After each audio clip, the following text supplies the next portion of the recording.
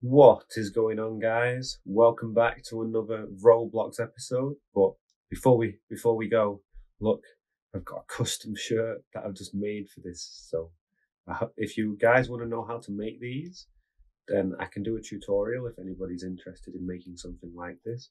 If you want to buy this, it's only 20 Robux and be part of the fan club, the of the Semantics Antics, and join the antics. Then this is on the store and it'll be left in the description. Right.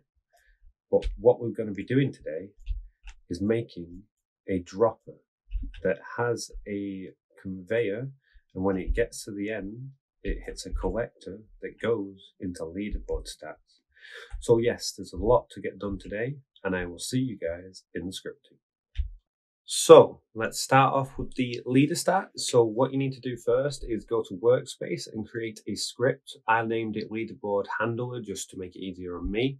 So you want to make a function that in the game, so when the game starts, find the players and then get when a player is added, um, connect the function. So connect this function and also take from it the player, right?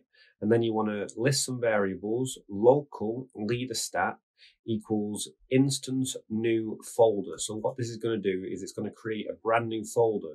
But because we've taken player, it's able to put a brand new folder called leader stats into the player, right? And then what we what we need to do and make sure you get this one perfect because Roblox runs off a specific algorithm of where it has to, for some reason, have leader stats, right? So do name leader stats dot name equals leader stats with no capital. Make sure it no capital because it is case sensitive. Um, so then we do another variable of local money, and we're going to be creating a new instance, but this is going to be creating an int value. So in when someone joins, it's going to create a brand new folder and then um, inside in, inside of this folder now, it's going to create an int value, and this int value is going to be placed into the folder that we've just named leader stats, and that's going to be given a name money, right? So, so to see this in action, we will just keep your eyes over here, and then we'll see what happens. So if you go to players, then um, Samael, um, which is my character, um, and then we go to leader stats. We have actually got the int value here that's been created. So whenever someone joins in this game now, we will be creating a leader stat, right? So now on to the next part.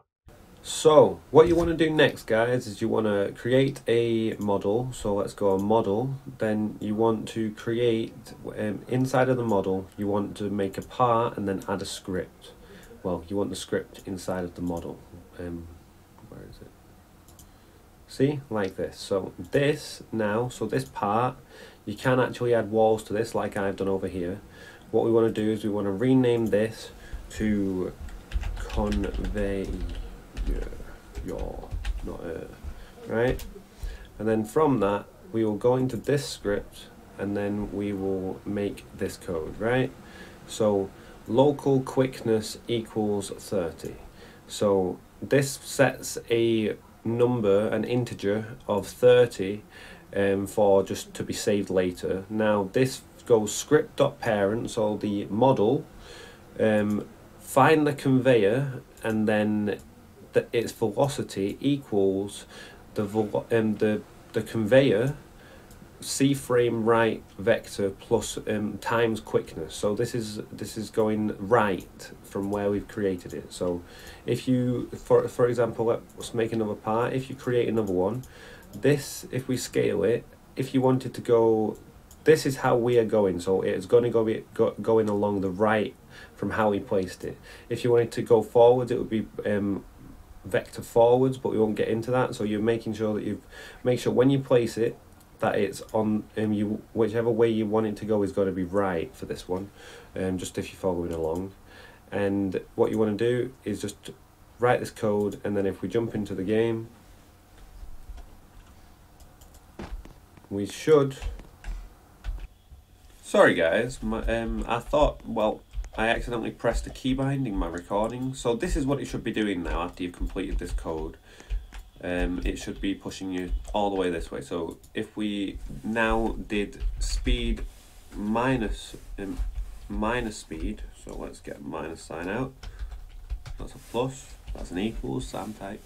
There we go. So now we put minus. We'll just save this and play this. This means it's just going to take the opposite direction. So this is easily makes it go left and right. See what see what I mean? So the next thing that we need to do, um, which I previously recorded this and accidentally pressed space, which was a keybind to stop the recording. So what you need to do is make a dropper. So to make a dropper, you just need to have all of the parts into a model. So we have called this the dropper. So now we have the dropper body, which is all of these, and then we have each part. Um, every part is anchored, so make sure that you have it anchored, otherwise it will all fall to pieces. Then once you've created the look of your dropper, you need to create a dropper place. So call this dropper, and I put mine down a little bit in the transparency just so I can easily see it. And then now is the most complicated script. So yes, this looks daunting, and unfortunately I have to explain it all again because I lost the recording, or didn't record it. So, first we need to start and state some variables. So the first variable we need to state is the dropper. So we need to be able to easily get access to the dropper from the model, right? So the dropper part. So that is equals script, so the script dot parent, and then wait for the child, so wait for this and then it's called dropper, right? And then we're setting a timer because if we didn't have say we set this timer to, I'm not going to set it to zero, but I'm going to set it to 0 0.1, right? This, if you didn't have a timer, would literally be causing your game to break. Um, I don't think I ever set, did I set it to use the time? I didn't. Um, so if I do timer here, and then press play.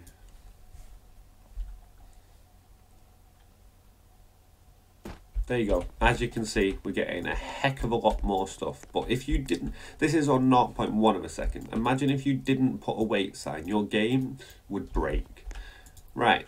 So now on to the next, the next part. So let's just make this back to two seconds, just um, so it's easily accessible for the net all the times that we want. We can create timer 2, timer 3 if we wanted separate ones, but this is for one dropper. Then we want to now, in the workspace, so before you actually cr create this step, go into the workspace and create a folder. So by the plus sign and create folder. This folder can be named whatever you want, but we've called it ore storage. Now, in the workspace, wait for um, wait for child ore storage. That's what we need to wait for, just so it's um, so we found it and then we're going to do local collector. So cre um, create as you can see at the end of this we've only got one part. It's called ore collector and inside it is a collector.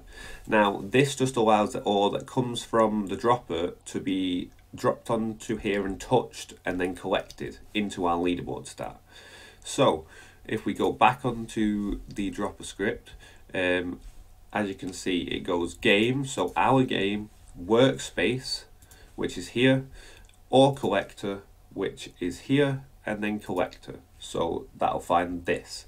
So this is just getting all the variables that we need for now our functions. So moving on to the functions, what we need to do is create a function called begin dropping. Because we're not actually, we've not made an owner only door, which will be coming very soon. Every, um, I'm posting these every week. Um, go begin dropping, make sure you put your brackets and then it'll um, press enter and it'll make end. This will make an end for you so you've got an entire thing to fill out. So then you want to do local ore so this creates a new new part. We've we've called it ore so instance new. So this is creating a brand new instance.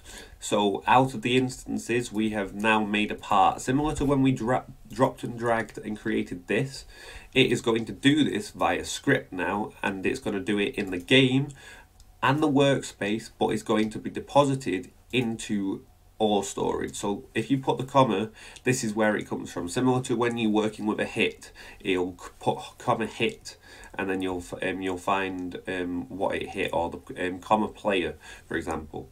Now we get in the position. So this is ore dot c frame. So this um, the position of where this ore is going to be created is at the same position uh, as the dropper. So the dropper part that we've created on our dropper, um, that's position. Okay, so it will be using, if we find dropper, it will be creating itself at minus 63, 8.5 and minus 7. So then now we're also now we're giving it some more variables just to allow it to be placed into the game. This is size. So size runs off three vectors, the vector map of x, y, and z. So this is x, so this is um, left and right, this is up and down, and this is forwards and backwards, right? And now you now these could these could be left, but it, um, I like setting them just because you can change it, and it allows more custom items to come out. So you've got ore dot material. So this goes through the list of materials. For example, we've got diamond plate on, them on at the minute. But if we were to press dot, it gives you all of them via just going through and looking them with, with the up and down button. So let's do neon. If you want to enter it, just press tab. Um, then we've got ore and brick color. So ore and brick color is, again, it's almost as if it creates a new instance, but it's not. It's creating a new color. So this color would be um, brick color. So capital B, capital C, new, and then we've gone for baby blue. This can, again, if we took, um, took this out, I'm not mistaken, if we press this, yeah, if you press your speech marks, you get all of the colours that you could want that are in the game, or, well, in Roblox. So let's go for camel. I don't know what neon camel is going to look like, are going to see in a minute. Now, this is a little bit more advanced, so if we press play on this game, so let's jump into the game. Right, so now we're in the game. If you have a look over at ore storage, where all of our parts are being created, we have also, inside of this, got a value. Now, we have set this value in the script, and this is what allows our playing money to actually eventually go up. So if we go into the dropper script, we have set on this um, on this brick, so this um, this this brick that's been created, um, well the ore that's been created, um, so local price, so making a variable which is an int value, so it's a new int value, and we're going to be placing this on the ore or the brick, because if you call this brick, make sure you put this brick, and then making the variable price, so the name price is here, dot value, so this is finding the val value, and then we're setting it equal to 5. So that's just set it up ready to be deposited. Now, if we didn't have this script, it wouldn't need um, be, um, be deposited. So this script here is what then allows you to process it. So ore dot touched will connect a function and then find what it hits. So if what it hits is equal to the collector, then play this script. So game, so go into the game. This is this is very basic for now for a tycoon. You would be working with owner, but we will go into that later down the line. So game dot players dot Samael, so my character, dot leader stats dot money, which is the variables we set in the leaderboard handler, and then finding its value equals this um the same as what we just put um, game.players.samael leader stats money value plus price value, so what we set from when it was created. And then once it has given us this into the leaderboards, this will then destroy the ore so it's no longer able to be touching this and consistently giving us stats. Finally, to call this function for now um, or even if you started a tycoon and it was the first thing that you did, you might want to add this to so like we could do while button true or while say say if we click the button it would make so if we had boolean button the local button on equals false um, and then we did well make sure you don't do button on like that and then we did while button on, so button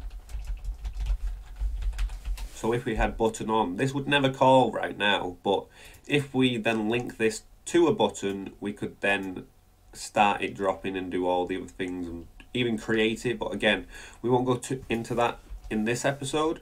So what we need to do is just go while true do, which is always going to be true and it's going to wait for timer. So begin dropping, so we're calling the begin dropping function here and we also every time it completes the begin dropping it will then wait for whatever the timer value is set.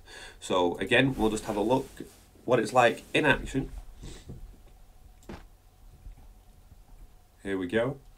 So if you have enjoyed this episode and you have learned something or you have learned something thank you guys for watching. Please give me a like uh, if you're new to the channel and if you're not um, um, if you're new to the channel, then please subscribe. If you're not, you're a legend. And if you stayed this far, you're also a legend. So I will see you guys in the next episode. Peace out.